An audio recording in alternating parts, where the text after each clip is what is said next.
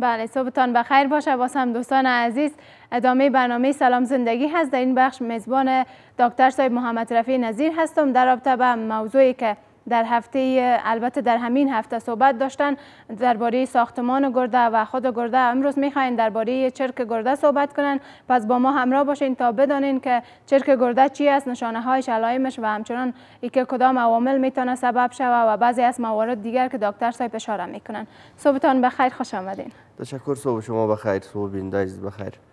امیدوار هستم صحت و عافیت باشن و از صحبت های ما بهره شوند.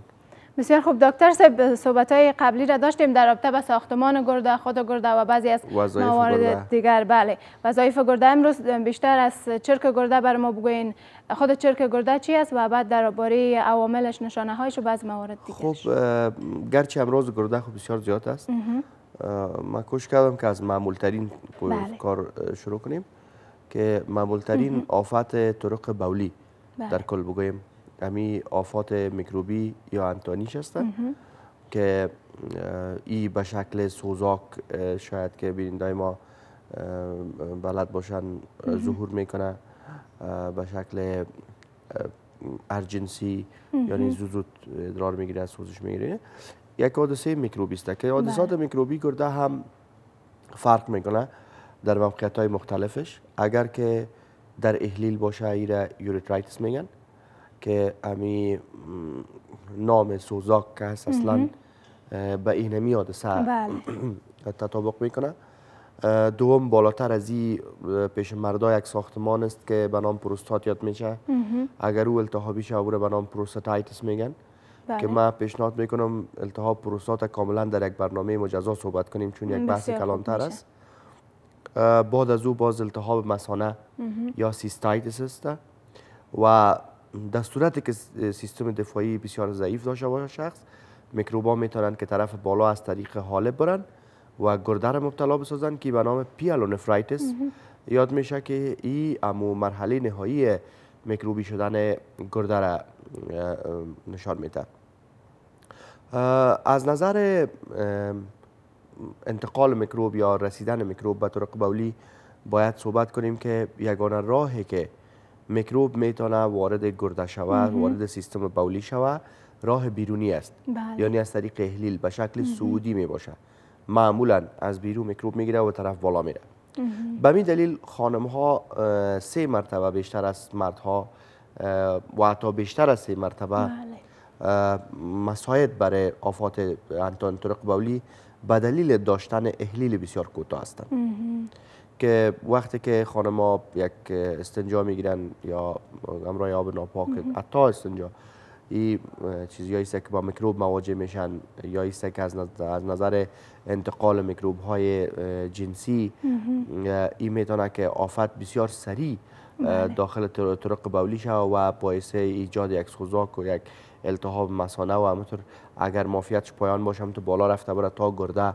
این میکروب که یکی از عاملین از بین رفتن فعالیت گرده هم امی پیالونفرایتس است که گرده را کاملا از فعالیت میپرده. بران این یک بحث است که میکروب از کجا داخل میشه. ببینید ما یک کار مقایسوی تحقیقی من انجام دادم سال گذشته و آبهایی که در کابل بود. اینا را هم کشت کردیم و مریضایی که انتانات بسیار مقاوم طرق بولی می داشته باشن اونا باز ادرارشان کشت میشه در قسمت تشخیص با صحبت خود کردیم. ما پیدا کردیم که میکروب ها اکثرا چیزی که در ادرار بود و در آبان بود. بله. و یک از در, در افغانستان یکی از عاملین انتانات مکرر طرق بولی پیش خانم ها آب است. فکرتان باشه. بله، آب, آب خود آب پاک نیست. نه آب زیر زمین نه سر زمین نه از دریا نه از هیچ جای پاک نیست. بنان بهتر است که قبل از اینکه آب استفاده شود به خاطر شستشوی احجان باید او پاک ساخته شود توسط دیتول یا جوشانیدن. این بحثه که میکروب. میکروب های مختلف هستند که می‌تونن باعث یو تی آی شوند. بله. که کل میکروب ها را به دو گروه عمده ما تقسیم می‌کنیم. یکی STI است سکشوالی ترانسمیتد انفکشن است و یکی نان STI است که بدون رابطه جنسی انتقال می‌کنه.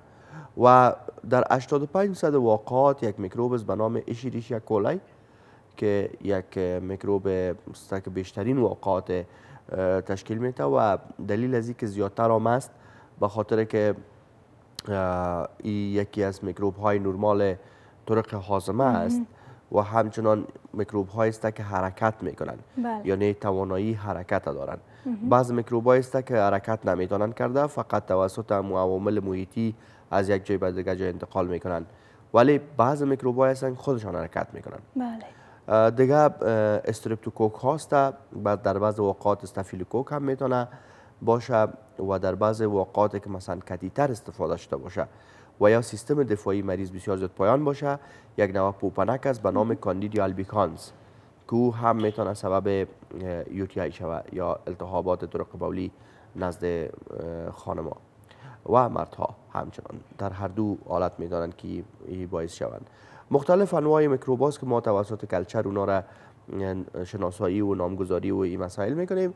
خب مطلب اصلی همیست که میکروب از کدام طریق و به چه شکل و یکی کسایی که پایپ میپرتن برشان نه اینا بسیار زیاد مساعد میشن.